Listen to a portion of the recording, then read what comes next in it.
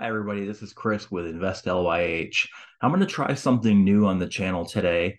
Uh, I'm going to try to watch a video and do a quick reaction to the video itself. So let's hope this works. I'm going to go ahead and try to share my screen now and see if we can watch this video that, here we go. Let's see here. All right, so I have a video up here about the increased pressure on Airbnb owners to sell as the supply outpaces demand. And it's using this guy who runs a company called Reventure Consulting. So let's go ahead and take a take a quick watch. It's about a five minute video, and I'm gonna stop it as I as I want to put in my opinion on this. And just so you guys know, I have an economics background. I have a terminal degree in economics I understand modeling. I understand uh, different aspects of uh, market based economics. So it's not like it's just some random guy.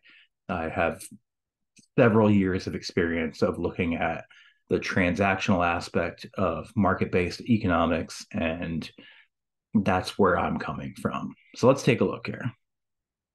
Let's bring in our A list panel to kick it off. Redfin Chief Economist Daryl Fairweather, Reventure Consulting CEO Nick Gerli, and Cresset Capital Chief Investment Officer Jack Ablin. Jack, I'm going to start with you. You actually just randomly, we had already planned to do this. I get this note from you. We asked you to come on not that long ago. Thanks very much. Using your math and using rates and whatever, you think that the median price of a home should be over a $100,000 less than it is right now. Yes, and it's a pretty simple math, Brian. All we're doing is we're taking median incomes, which we're calculating uh, at 77,000 roughly uh, per year. And again, that's been going up over the last couple of years. So we want to take that into consideration. We're um, calculating a mortgage rate of about 7.5%. Uh, and then we assume that 25% of the income goes to a, a, a monthly mortgage payment. We kind of gross that up and then add another 20% for a down payment. We come up with $283,000. That's substantially below the 400, 400 plus thousand that you're showing on, on the screen. So um, I don't expect we're going to see an immediate 31% crash. Wow. Uh, because, like you said, those that existing homeowners who have low mortgage rates are just going to stay put. Yeah, and Daryl, I want to be clear. The okay, so two things on this. The guy mentioned that those who have existing mortgage rates below, let's say, um, favorable mortgage rates, right, below four or three percent, they're going to stay put. Which this eliminates the market for the move up buyer. And I did a video on this a couple, a couple, probably about a month ago, maybe two months ago, um, how it's eliminating the middle market. And this guy is absolutely correct on this. One aspect that I would disagree with him on is the pricing structure. Because what he's not taking into account is those one time lump sums that people have, for example, when they sell their home. If you sell your home, let's say in a hot market like Tampa, Tampa, Florida, and you move here to Lynchburg, you are going to have a large lump sum that you can either apply to a down payment or apply partially to a down payment.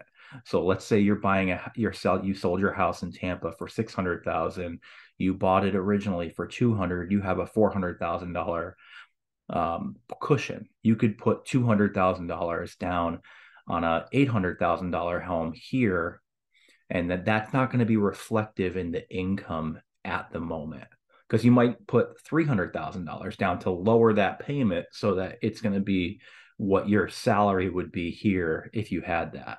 This is often a fallacy that happens when people do not have an understanding of the basics of income. Income is not just for hours worked, it is also selling goods and services that may not be directly related to work hours. So, selling a home is considered income, just ask the IRS. Now, we do have that provision that allows you to, to not have to pay taxes, but you i this is just a fallacy that oftentimes people who are on these types of shows they say okay well one thing's going in one direction something has to go in a different direction and that's always not that's not always the case So let's continue to watch. And I, I like this lady, Daryl. She's pretty good. I think she's the Redfin uh, chief economist.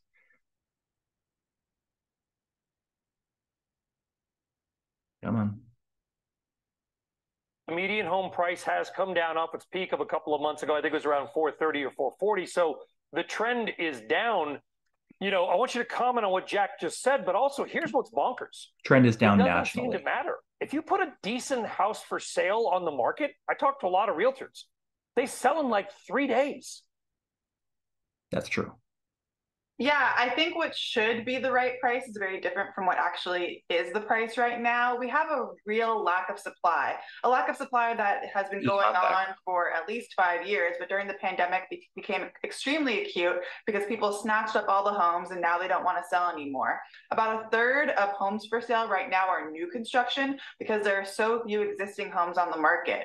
And since new construction is doing a quite well, I need to pause here just to go back to my fundamentals that I have put on my channel supply and demand. If the demand outpaces supply, prices go up. What happens is more producers will come into that sector, which is why we have a third of new home of home sales being new builds. Excellent point by her. Right now, at least, you know, amidst these high rates, we can be i can hope that there will be more inventory down the line but for the time being those prices are probably going to stay put high. Homeowners don't have a real reason to sell. No and and in fact they have they not only not have a reason to sell nick they've got an active reason not to sell which is yeah maybe i'm sitting on a bunch of equity i'll make a fortune but unless i'm moving to like equatorial guinea i'm going to have to buy a house somewhere else and i'm going to end up paying 7% do you see a crash coming and you know that's a great point. This guy always sees a crash coming. Just FYI. Right, Brian. A lot of people are locked in. However, here's the thing: there's a hundred million single-family homes in America. The inventory on the market's less than a million. So all we need actually in America to see inventory increase substantially is a little bit of distress in the housing market. And one area I'm seeing that distress right now is with investors. Lots of investors who bought during the pandemic, whether they be for long term rentals or Airbnbs, their properties are sitting vacant right now, and the rent is going down as their cost of debt is going up. So, a lot of these investors, like the homeowners, have said to themselves, Oh, I don't need to sell just yet. But there's pressure building in the background of the housing market that I think will cause yeah. inventory to go up by quite a bit. Nick, I want to go. I'm going to go back to you, Nick, because you're making a good point, and I've been reading a lot about these Airbnbs that are now I just don't see it. Uh, he's talking about the investors who bought during the pandemic. Rates didn't go up during the pandemic, they went up after the pandemic. After inflation occurred, that's when the rates went up. So if you bought previous to when the rates went up, you have a low payment and rents increased.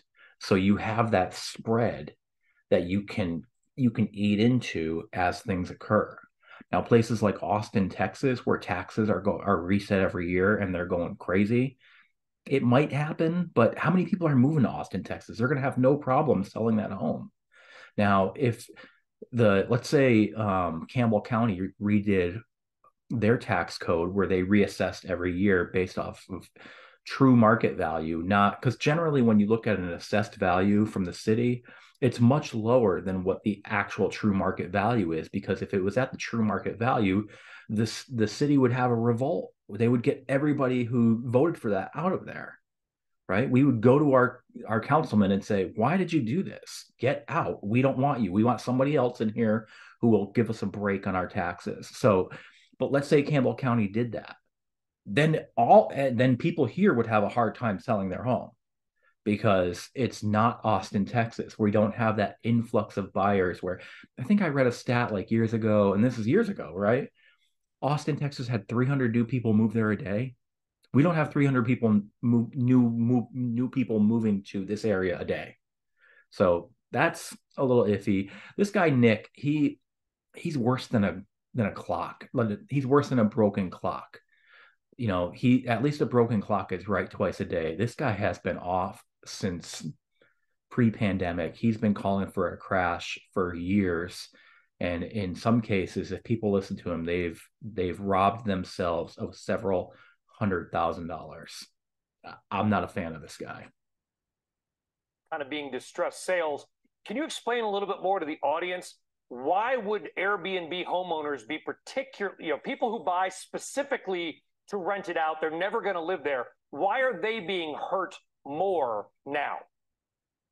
It's a great question. It's, it's all a cash flow situation and a supply situation. So the aggregate Airbnb demand in America is actually still pretty strong. The problem is the supply of Airbnbs, specifically in certain markets like Phoenix and Austin and Tampa, has surged out of control. Again, this guy understands the fallacy for Airbnb, right?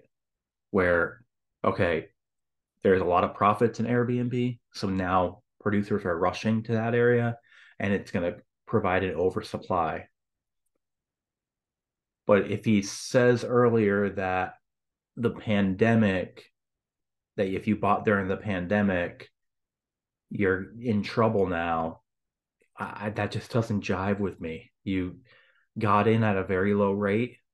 Maybe today, when you're trying to do an Airbnb in Austin at an 8% rate, then you might have trouble being able to fill that vacancy.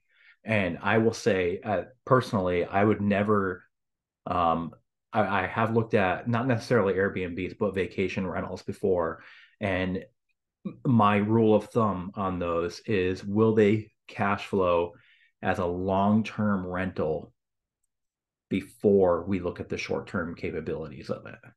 And if they will not, then I will not purchase those. So, and we were looking this earlier this year at uh, some beach rentals down in Florida. Um, but let's listen to what, what the rest of what he has to say here. Way more than the demand, which is now causing the revenues to go down substantially, particularly for mom and pop Airbnb owners who don't have access to all the fancy pricing tools that the big guys do. And so I'm mm-hmm. talking to Airbnb owners around America. They're saying their uh, listing is doing 40% less revenue this year compared to last year. And again, there's a million and a half Airbnbs in America. Some of them are doing fine, but others are really, yeah. really struggling, and that's going to put pressure on them to sell as they uh, as their revenue. Jack, to your, to your, what if you could? All right, so I'm going to stop sharing this. And I'm just going to go back to full screen here. All right, so yes, there's a million Airbnbs in America, but didn't we just talk about how there's like 120 million homes? So that's less than 1%. I just, that guy is not, in my opinion, he is not very thorough in his analysis. I just, I don't know what his background is, but I don't think it has. So in economics, we have this uh, study called econometrics, and what it does is we take statistical models and we apply variables to them so that we can measure the, the differences in the variables and see which ones have true impact on the outcome. And I don't think this guy has an understanding of what that means. I think that he is yeah. Let's not let's not go into that. but anyway, um if you guys liked this video, right? I I um thought it'd be interesting to watch uh, a CNBC article on um the housing market with a guy who just assumes that price is a mechanism um, another person who uh, understands that there are some economic fundamentals that are underneath the market that are playing into it, and a gentleman who I just think is uh, not a very good analyst. So, uh, and if you guys don't know, my day job is an analyst. So um, I I do a lot of modeling every once in a while, and I figure out okay, what is the trend line? Where are we going? So um, if you guys like this video, please let me know. I'm going to go ahead and stop it. I don't even know if the audio came through because sometimes they have those weird restrictions, but um, I do appreciate you guys watching. Thanks so much. Have a great day.